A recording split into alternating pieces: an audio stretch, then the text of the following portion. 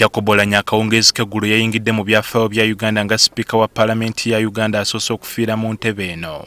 Ekyayimiriza emirimu gya paaliyamenti gyonna. Ssemateeka ensi yattu uganda kwetambulira temuli kawaayiro kwogera ku kya sipiika kufiira mu ntebe. Wabula obuwaayiro bulimu boogera ku biki ebikolebwa.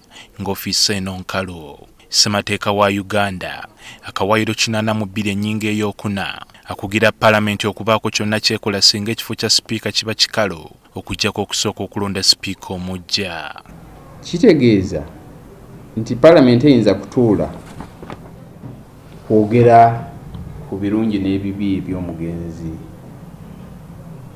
jacob olanya. Kyetusobola okukola kati kuleeta ebisigala by'omugenzi sipiika netubiteeka mu lobe ya paalamenti abantu netugenda netumukubako eruvanyuma naye paalamenti esobola kutuula mu session. Bannamateeka bano balabudde ekkabi akalimu ofiisa eno okubeera enkalu gamba ng'obutabawo tteeka oba kiwandiiko kiyinza kuyisibwa paalamenti so nga n'embalire y'eggwanga ey'omwaka 2223 erina okuteesebwako singa wabeerawo obwetaavu obw'okulangirira embeera eyakazigizigi oba ey'olutalo nga kyetaaga paalamenti tetuyinza kutuula. Akati bwe tulwa nga tukyanoonya sipiika kijja kuvaamu kijja kubeera kimu.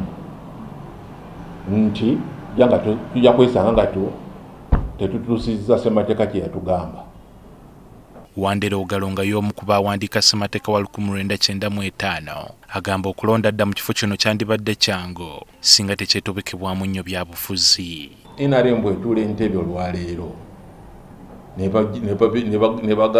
ne bavujjayo erinnya limu. Baliwa leader of government business prime minister.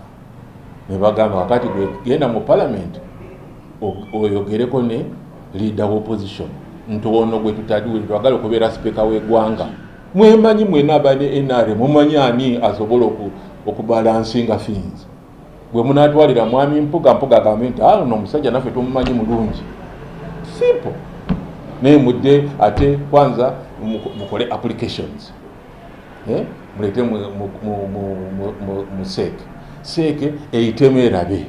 Tuyiteko kasi you have a majority. Why are you going through all these things? Mugenda kufuna omuntu wammwe.